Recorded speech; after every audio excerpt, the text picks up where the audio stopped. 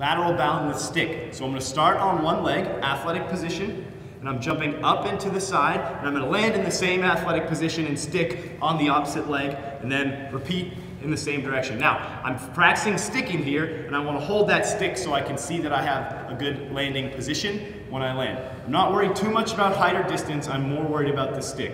I think you're looking for an equal amount of height and distance. If you need to start with a jump like this, that's 100% okay, as long as your stick position is good. As you get better at it, then you can progress to a higher and a longer jump, making sure that the stick is the most important part.